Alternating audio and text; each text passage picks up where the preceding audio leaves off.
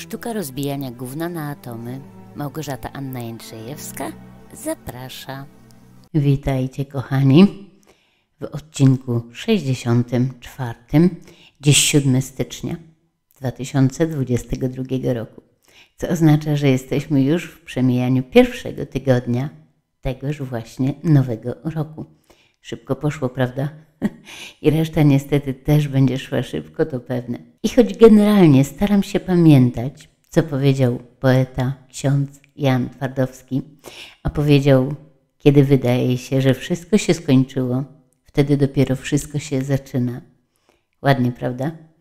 No właśnie, i staram się o tym pamiętać, ale i tak w minioną niedzielę, czyli 2 stycznia, gdy szłam o 6 rano na metro, jadąc do pracy, pomyślałam, tak trochę smutno, że minął coroczny festiwal nadziei i czas wracać do rzeczywistości. Faktycznie trochę smutno, ale musicie przyznać, że ten czas bożonarodzeniowo-sylwestrowo-noworoczny, no to jednak jest czas oczekiwania. Nie tylko na przyjście Jezusa, ale także na, na jakiś cud, cud, który zmieni żonę, męża, dziecko, matkę, ojca, szefa, nauczyciela.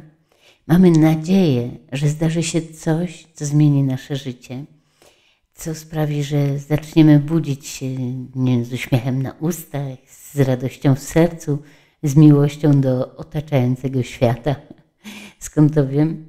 Z autopsji, moi drodzy. O tym już opowiadałam Wam, ale powiem jeszcze raz. O tym moim Bożym Narodzeniu, na które czekałam. Co roku, przez wiele lat czekałam na Boże Narodzenie, bo to taki piękny czas z mnóstwem światełek, z tym gwarem, szumem, prezentami, uśmiechami, kolendami na każdym kroku. I też dawałam się ponieść magii i nadziei, że tym razem będzie inaczej, że w końcu przyjdzie do mnie to szczęście, że nie wiem, w końcu ktoś mnie pokocha, że w końcu zacznę zarabiać jak człowiek, przestanę mieć problemy finansowe. tak, ja też dawałam się porwać tym nadziejom, które podlane alkoholem, romantyzmem, filmami podpowiadały, że owszem, tak, w nowym roku czeka na ciebie szczęście.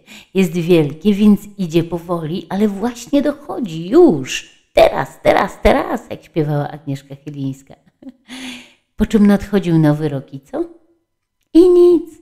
Zaczynała się codzienność, całkowicie odarta z magii. Poranne wstawanie, opór dzieci przed powrotem do szkoły, mój opór przed powrotem do pracy, świąteczne, świątecznie wyczyszczone konto, bóle brzucha jako efekt przejedzenia niezdrowym żarciem, ale także bóle brzucha nerwicowe, które przeradzały się w takie depresyjne przeczucia, że coś tu nie gra. I długo nie docierała do mnie jedna wielka prawda, że nie można robić cały czas tego samego i czekać na inne efekty. Bo przecież wszelkie postanowienia i cele, które sobie stawiałam pod koniec roku, czy tam w noc sylwestrową, czy, czy w Nowy Rok rano, wszystkie one brały w łeb po kilku dniach, a ja wracałam do swojej strefy komfortu, czyli do tego, co znałam, co było bezpieczne, nawet jeśli nie dawało mi szczęścia, radości, spełnienia, ale było znane. I powtarzałam sobie taką mantrę, którą wszyscy sobie powtarzamy: życie takie jest, no po prostu, co mogę poradzić? Nic nie poradzisz. Nic, no po prostu samo życie. Mantra, która tłumaczy wszystkie problemy, wszystko to, co się dzieje w naszym życiu. Życie takie jest, po prostu. I jednego roku miałam taki zryw, poplotkuję trochę o sobie.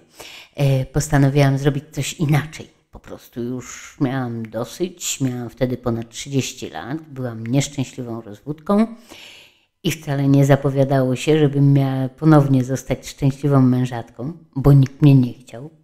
Tak, wiem, moja uroda jest nienachalna, jak mówiła Maria Czubaszek, ale żeby aż tak, żadnego brania, żadnego wzięcia – żeby się pocieszyć, czytałam w tamtym czasie harlekiny i romanse historyczne, żeby się upewnić, że miłość istnieje. No i prasę kobiecą też czytywałam i właśnie w którymś egzemplarzu tak zwanej naukowej prasy kobiecej znalazłam ogłoszenie wróżki Nie pamiętam, jak się nazywała, ale ogłoszenie było wielkie na całą stronę, więc pomyślałam, że skoro stać na takie duże ogłoszenie, to pewnie bogata, a to znaczy, że ma wielu klientów.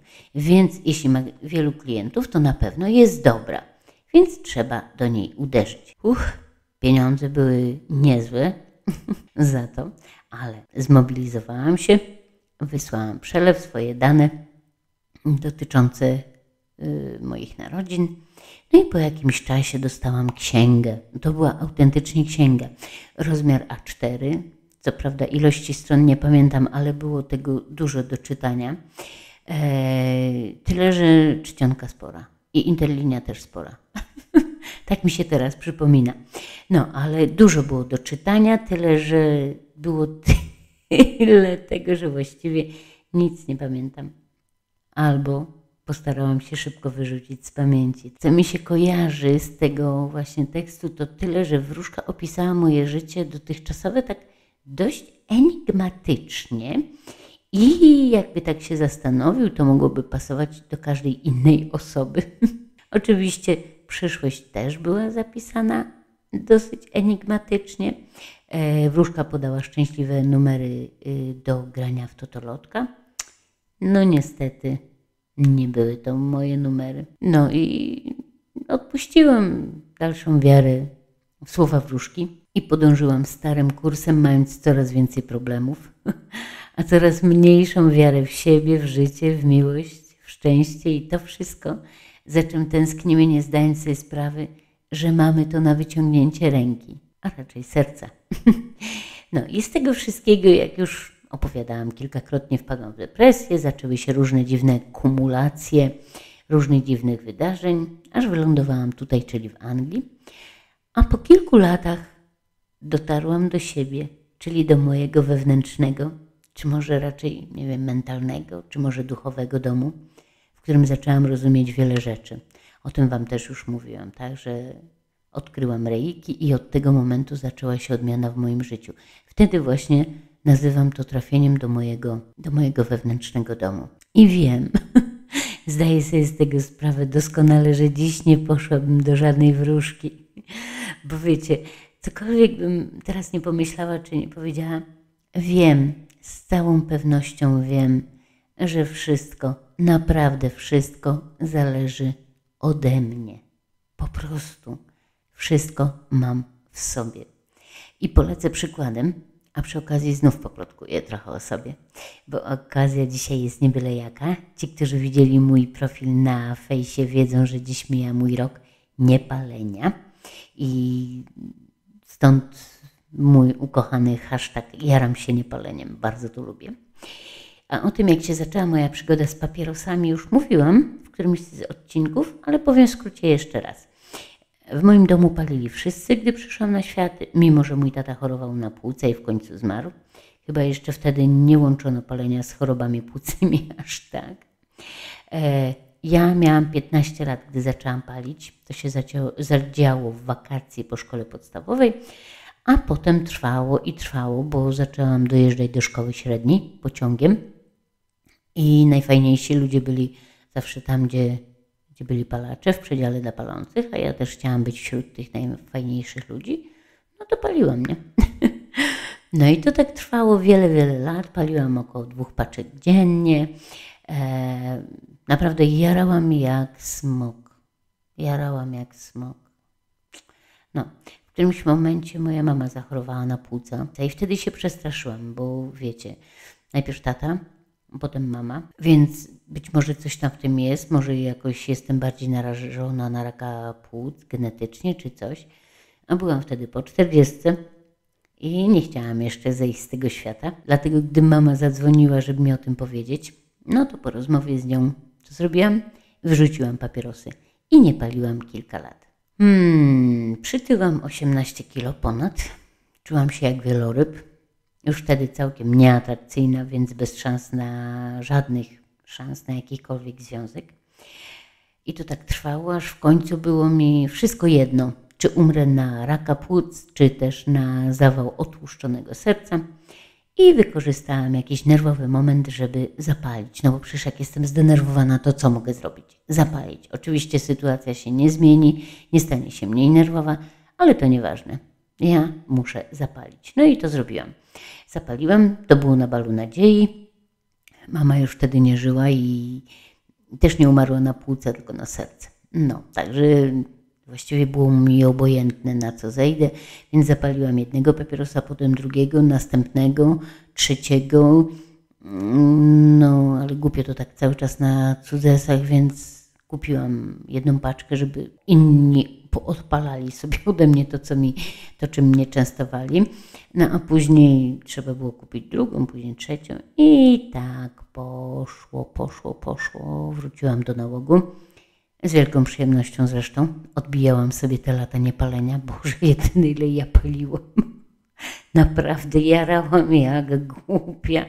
W domu wszystko było czarne, śmierdzące, ale mnie to nie przeszkadzało. Najważniejsze, żebym miała zapas papierosów. I jak zbliżał się moment zamknięcia najbliższego sklepu, a ja miałam powiedzmy 10 papierosów w paczce, leciałam dokupić na wszelki wypadek. No bo przecież gdyby coś się wydarzyło i gdybym nie mogła spać w nocy i musiała palić, to co wtedy? I powiem szczerze, nigdy tak się nie zdarzyło. Autentycznie nigdy tak się nie zdarzyło. Ale papierosów zapas musiał być zawsze. Mogłam nie mieć jedzenia, ale papierosy musiały być. No, a później przyjechałam tutaj. I okazało się, że mogę palić tylko na dworze, a więc bez względu na pogodę, jak chciałam palić, to szybciutko na zewnątrz. E, w pracy oczywiście też nie mogłam sobie pozwolić na palenie co godzinę. Nikt mi za to nie płacił, tylko za robotę. W ogóle w większości prac, jakie miałam, to, to wychodzenie na papierosa to był, był problem. Patrzyli kosym okiem. E, no więc, y, no więc musiałam ograniczyć ilość papierosów, ale i tak paliłam i nie wyobrażałam sobie, że mogę przestać palić w ogóle. Naprawdę. Wiele osób mi mówiło, rzuciłabyś to, po co ci to i tak dalej, i tak dalej. A ja mówiłam zawsze, lubię palić. Po prostu to lubię, więc nie mam zamiaru przestawać. Lubię palić papierosy. I tak to trwało przez tych kilka lat. I nagle, nagle się stało. Podjęłam decyzję praktycznie z dnia na dzień, no może jeszcze dzień wcześniej, że nie dokupię następnego tytoniu, bo robiłam sobie papierosy z tytoniu, bo tak było taniej. E, więc e, podjęłam decyzję, że nie kupię tytoniu, mając świadomość, że papierosów zrobionych starczy mi tam do, to było chyba wtorek albo do, do wtorku wieczorem. Ostatniego papierosa o dziewiątej mogłam spalić, a na, na następny dzień już nic nie miałam. I tak się stało. Tak zrobiłam. Nie kupiłam tytoniu, spaliłam ostatniego papierosa, to był chyba wtorek, tak mi się wydaje. Yy, o dziewiątej wieczorem poszłam spać, rano wstałam i już nie paliłam. I wiecie co? ja naprawdę do tej pory nie wiem, dlaczego przestałam palić. Co się wydarzyło w mojej głowie? Czy to przez covid bo podświadomie bałam się, że jak go złapię, to może to się skończyć źle, bo te respiratory i te wszystkie inne. czy, czy, czy to dlatego, że, że kilka dni przed rzuceniem palenia zemdlałam i właściwie nie wiedziałam z jakiego powodu, a nie mogłam nic wykluczyć. Czy dlatego, że to dziadostwo drogie w ciul e, i szkoda mi było pieniędzy? Nie wiem. A może przestałam palić z najprostszego, naprawdę najprostszego powodu na świecie. Z miłości do siebie. No cóż, szczerze powiem, stawiam na ten właśnie powód. Bo to przecież coś pięknego zrobić coś ważnego z dbałości o ukochaną osobę. Czyli w tym wypadku zrobić coś ważnego dla siebie z miłości do siebie. A skoro od kilku lat cały czas robię wszystko, żeby siebie pokochać, więc być może to był ten moment, kiedy chciałam przekonać siebie samą. Tak, kocham. Nie wiem, czy nigdy już nie zapalę. Nie mam pewności. tak jak samo, jak i nie miałam wtedy, gdy, gdy nie paliłam przez, nie pamiętam, 3 czy 4 lata. Nie mam pewności, tym bardziej, że przytyłam po raz kolejny i teraz jestem na drodze kolejnego wyzwania. Wyrywam się ze szponów uzależnienia od słodyczy. No ale to jest y, temat na inny odcinek. Ale coś dziś chciałabym ważnego powiedzieć sobie i Wam. To jest naprawdę bardzo ważne. To, o czym się przekonałam i o czym chciałabym przekonać Was, że jestem w stanie zrobić wszystko. Mogę zrobić wszystko. Mogę osiągnąć wszystko. Wszystko mam w sobie i ode mnie tylko zależy, co uruchomię, co ze mnie wyjdzie, jakie sama w sobie poruszę struny, które wydadzą dźwięk radości czy rozpaczy, dźwięk niemocy czy dźwięk jasności umysłu. I to, ta moja pewność, ta moja wiedza dotyczy każdego człowieka. Każdy człowiek ma w sobie to, co mam ja. I każdy człowiek może wszystko, tak jak ja. Tylko nie każdy o tym wie, tak jak ja nie wiedziałam bardzo długo. Bo to jest to, co powtarzam często. Nie zmienię świata wokół siebie, ale mogę zmienić świat w sobie. Już teraz wiem, że naprawdę mogę to zrobić. Mogę zmienić wszystkie swoje stare programy, ale jeśli ja mogę, to wy też możecie je zmienić, żeby czuć się lepiej z sobą, przy sobie, dla siebie. Słyszycie? Jeśli ja mogę, to wy możecie też. Każdy może. Kiedy wydaje się, że wszystko się skończyło, wtedy dopiero wszystko się zaczyna. No właśnie. Zacznijmy zatem nowe życie. Każdego dnia od nowa. Żeby nie zakładać sobie zbyt dalekosiężnych celów, bo one bywają trudne do zrealizowania. Zacznijmy dziś. Po prostu dziś, na ten moment. Ja dziś nie zjem już nic dwudziestej, bo taka u mnie pora. A ty, jakie ty sobie postawisz wyzwanie? Pozdrawiam Was cieplutko i do usłyszenia za tydzień.